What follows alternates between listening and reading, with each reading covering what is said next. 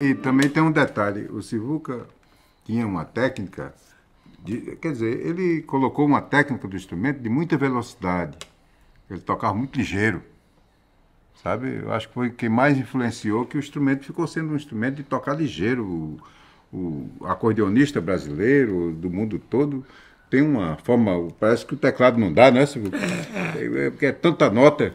Eu, eu aprendi tocando sanfona, namorando instrumento de sopro.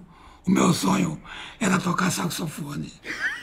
Aí eu toco fole como se estivesse soprando saxofone. Soprando. É. Mas soprar um voo do besouro, né? Bom, aí. Aí foi. Foi. Aí era.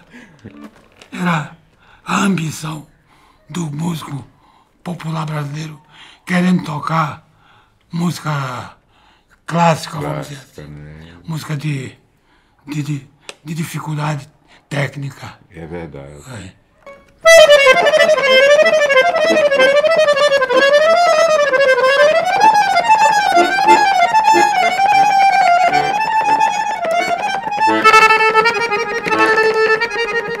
E por aí vai.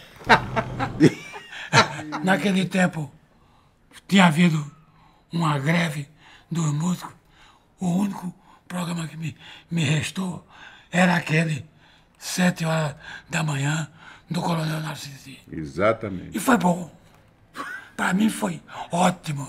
O Matuto do Piauí. É que eu conheci a turma toda. Conheci o Pedro, sertanejo que tocava. Pedro tocava no, no programa. No programa também. É. Então, é... Vamos lembrar Pedro Sertanejo? Vamos. Vamos lá.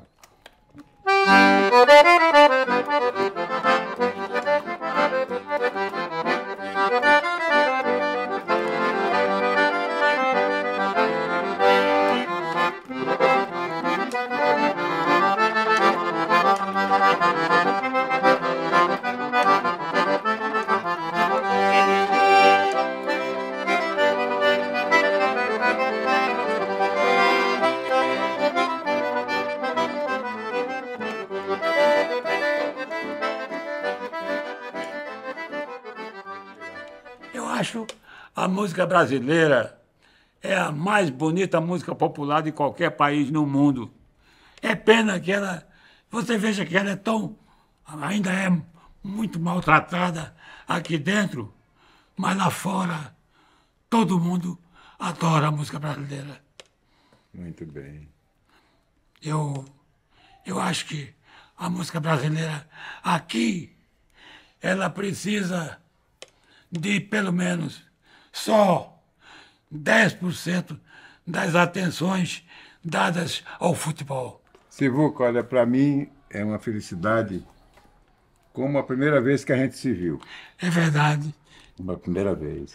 E para mim, além de felicidade, Domingo, é realmente uma honra e eu estou realmente me sentindo com o coração em festa. Obrigado. Olha, aqui o casal Glorinha e eu estamos à tua disposição.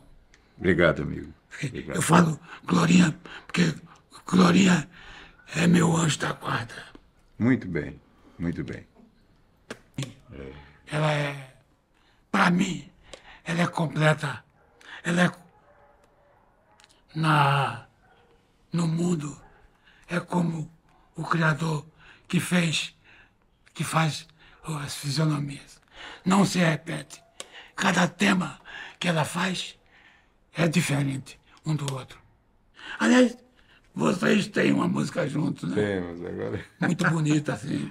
É, só, só, se você tocar com ela, porque eu mesmo não lembro mais. Tira tua banana comigo, ouça o meu sonho. ね。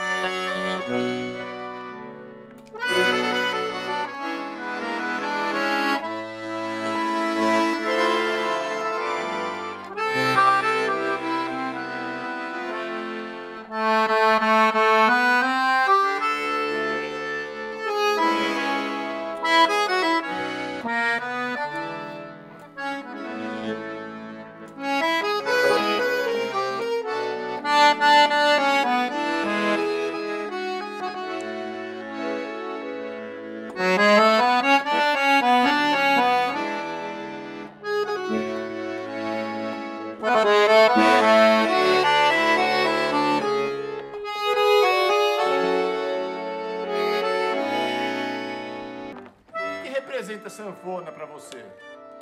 Ué, representa 67 anos convivência de paz e harmonia com a música, que é a minha sanfona.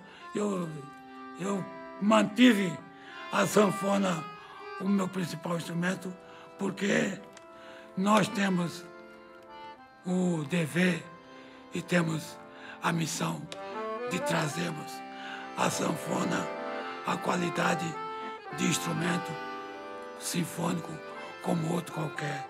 Acabar com essa história de que sanfona é só instrumento do, do mato. É, mas é um instrumento riquíssimo, um instrumento que tem é, tudo que você quiser harmonicamente, você encontra na sanfona.